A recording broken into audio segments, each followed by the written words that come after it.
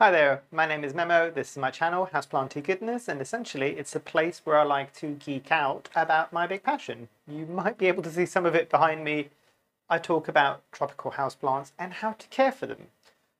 Today's video I want to focus a bit more on a very specific type of Monstera, and I'll bring it up so you can see it.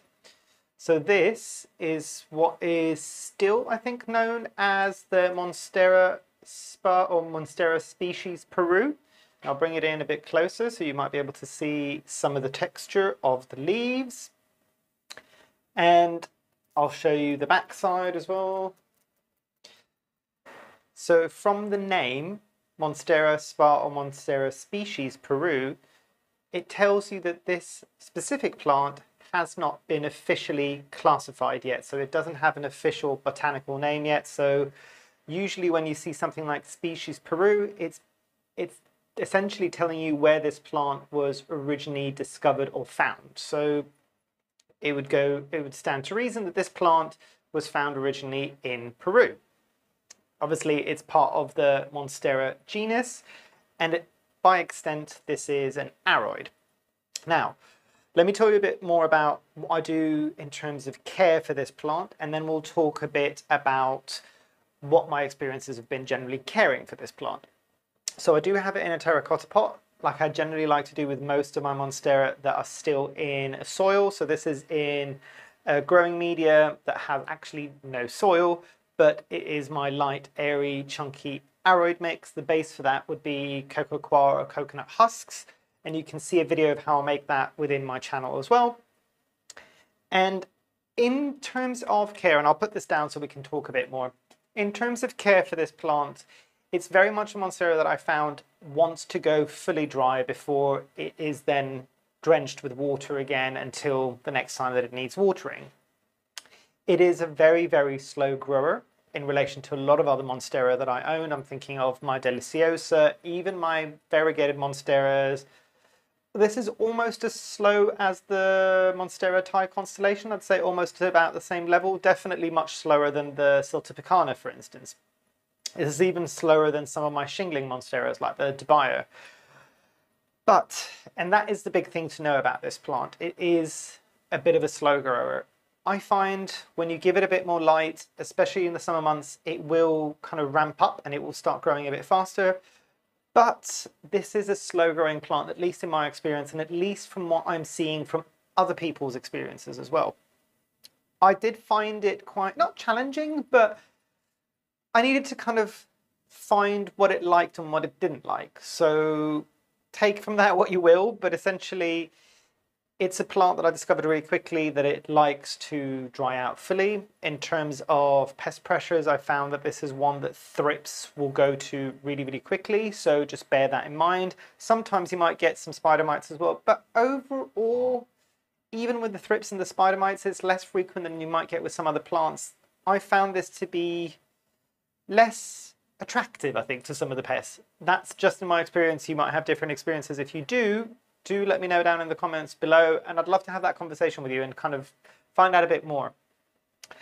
But definitely one that if you want to chop and propagate, it can be quite slow to get going. And with the power of some editing, I will show you now some propagations that I took as cuttings. Granted, they were just runner cuttings because one of got a couple of these plants now because I propagated them. But I'll show you how slow it can be. Just give me a sec. So this is a propagation and I'll bring it in a bit closer so you can see how teeny tiny that is. This has been going for almost six months. That'll give you an indication of how slow it is to propagate. At least that's been my experience. It's when you get the care down, it tends to kind of take care of itself. And this is a plant that I kept seeing. I think I did a video very, very early on my YouTube channel. Please don't go and look at that video. I'm sure it's cringeworthy. but um, it is one that I think I saw in plant stores quite a bit locally. This wasn't that difficult to find in the UK. I can't talk about the rest of Europe. And I know that this was at some point relatively tricky to find in the US. I don't know if that's changed now, but in the UK, this was relatively easy to find in some plant stores, and it didn't have a hefty price tag either to it. It's interesting because over here this was sold as Epipremnum Marble Planet, which you can maybe see why they tried to go for that bit more commercial name based on the texture of those leaves. And I wasn't fully taken with this plant, to be completely honest, when I kept seeing it in the store. But it was one of the few plants that, having not bought it that first and second and third time that I saw it, it kept playing in the back of my mind going, I'm not sure, but I think I like that plant. I'm not sure, but I think I like that plant. And eventually I just bit the bullet and just went, you know what? I'll buy this. And actually, this is still one of those plants in my collection that I am 100% happy that I purchased.